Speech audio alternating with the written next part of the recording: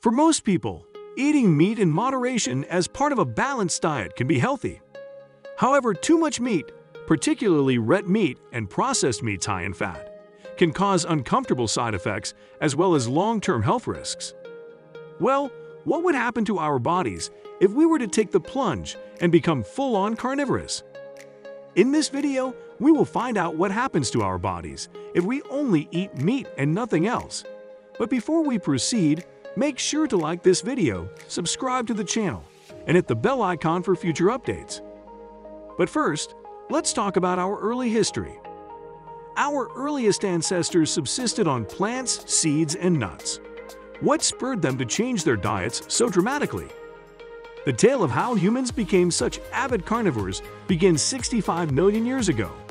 The dinosaurs have just gone extinct, together with over half of Earth's species, in rainforests that carpet vast areas of the planet, among soaring trees ribboned with vines.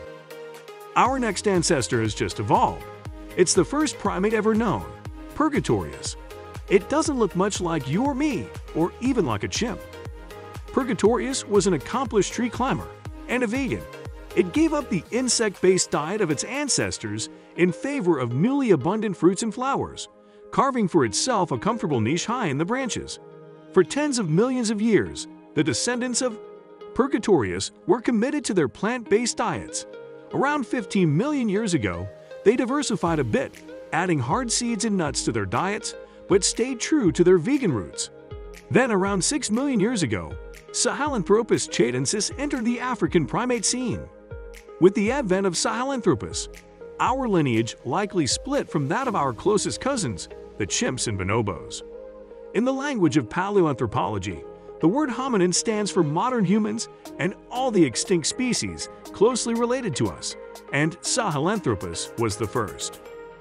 A short, flat-faced, small-brained creature, it most likely walked upright on two legs. It had smaller canine teeth than its ancestors and thicker tooth enamel, which suggests that its diet required more chewing and grinding than Purgatorius, like meals of fruits and flowers. Nevertheless, meat eating still hadn't caught on among our ancestors. Sahelanthropus probably ate tough fibrous plants supplemented with seeds and nuts. Later on, the several species of Australopithecus that lived between 4 and 3 million years ago in woodlands, riverine forests, and seasonal floodplains of Africa weren't hooked on meat either. Did Australopiths ever eat meat? It's possible. Just as modern chimps occasionally hunt colobus monkeys, our ancestors may have occasionally dined on the raw meat of small monkeys too. It seems that our bodies had to adjust gradually, first getting hooked on seeds and nuts, which are rich in fats but poor in fiber. If our ancestors ate a lot of them, such a diet would have encouraged the growth of the small intestine, where the digestion of lipids takes place, and the shrinking of the cecum, where fibers are digested. This would have made our guts better for processing meat, a seed and nut diet could have prepared our ancestors for a carnivorous lifestyle in another way, too. It could have given them the tools for carving carcasses. Some researchers suggest that the simple stone tools used for pounding seeds and nuts could have easily been reassigned to cracking animal bones and cutting off chunks of flesh. And so by 2.5 million years ago, our ancestors were ready for meat. They had the tools to get it and the bodies to digest it you might get the meat sweats. If you've ever sat down to a heaping helping of meat, you may have noticed a phenomenon known as the meat sweats midway through or shortly after a large meaty meal. You begin to perspire profusely. Although the meat sweats haven't been specifically studied, the mechanism behind them is well known.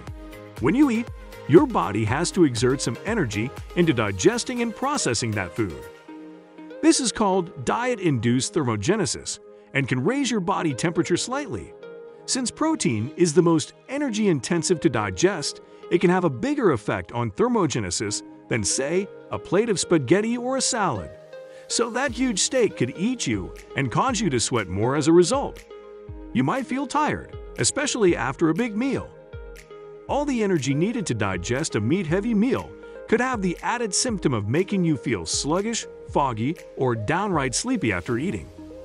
As you work to digest, your body moves blood flow to your gut to help prioritize that process. which means diverting it from other areas of the body, including your brain. That accounts for the grogginess that sometimes follows a large meal. However, this can also be true of unbalanced meals that are too high in carbs or fat, since they can cause insulin and blood sugar levels to spike.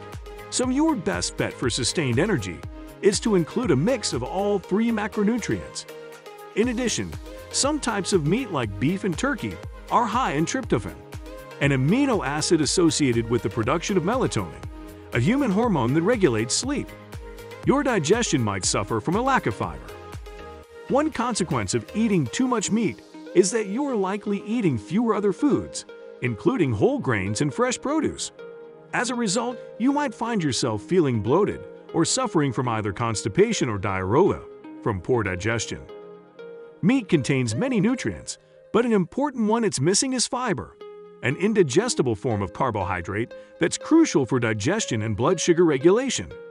You might be dehydrated from processing all that protein. Another side effect of all the protein in a meat-rich diet is that it can take a lot of your body's water to process, leaving you dehydrated. Although protein is crucial for health, including muscle building and repair, people tend to think they need more than they actuate official recommendation for protein is only about 0.36 grams per pound of body weight for most sedentary people, and even athletes don't need more than about a gram per pound of body weight each day. Anything more than that, and your body will use more fluids to flush out the excess nitrogen, according to research. If you don't drink enough water to compensate, you may end up feeling faint, lightheaded, or otherwise unpleasant. If you're trying to lose weight, too much meat could slow your progress. High-protein diets can indeed help with weight loss goals by helping you stay full longer after your meal and providing a slight advantage to calorie burning because of thermogenesis. But if that includes animal protein, it's important to be aware that certain types of meat can be extremely calorie dense, meaning they pack more calories per bite than other foods, like veggies for instance. Those with the most calories include fattier cuts of meat and processed products like restaurant hamburgers, bacon, ham, and sausage. So if you are trying to lose weight, opt for lean cuts of beef and poultry or fish, all of which tend to have fewer calories per serving you could increase your risk of diseases like certain cancers and cardiovascular illness. Studies have consistently linked higher consumption of red and processed meat to increased risk of certain cancers. As well as cardiovascular disease, processed meats like ham, bacon, sausage, and hot dogs are particularly culpable because most of them are treated with chemical preservatives called nitrates.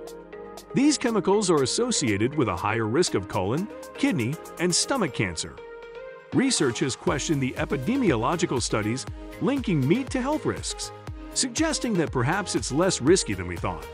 However, the lead author of that study was found to have received funding from the beef industry, and most mainstream medical experts and nutritionists continue to recommend eating meat in moderation to minimize the risk of chronic illness. And that's all for today. Hope you enjoyed this video. Do not forget to subscribe to the channel and hit the bell icon for future updates.